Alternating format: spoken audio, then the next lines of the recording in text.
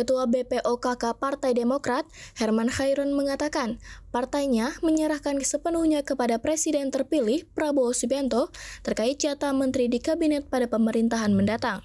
Herman menegaskan Partai Demokrat tidak akan mengintervensi Prabowo dalam menentukan jatah menteri untuk Partai Koalisi Indonesia Maju, termasuk isu Partai Demokrat mendapatkan jatah 3 sampai 4 menteri.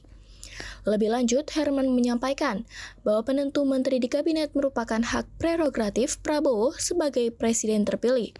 Oleh karena itu, Demokrat memberikan keleluasaan kepada Prabowo untuk menentukan kriteria, portofolio, dan jumlah kabinetnya.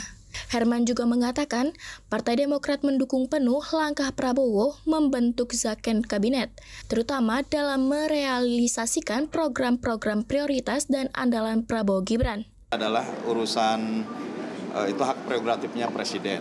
Jadi berilah ke keleluasaan beliau untuk menentukan kriteria, menentukan uh, portofolio, menentukan uh, jumlah kabinetnya, menentukan apa pun karena itu menjadi hak prerogatif. Bahkan di dalam revisi undang-undang kementerian dan lembaga diberi kewenangan penuh kepada presiden. Enggak, Demokrat menyerahkan sepenuhnya kepada Pak Prabowo. Ya, jadi bagi Demokrat tentu tidak ingin mengganggu pemikiran beliau sebagai presiden dalam menentukan jumlah dan kriteria. Ya serahkan saja. Dan pada akhirnya nanti kita tunggu apa yang akan diumumkan oleh presiden pada waktu Dari Jakarta, Natasha Alko, Galuh Anggara, Berita Nasional TV melaporkan.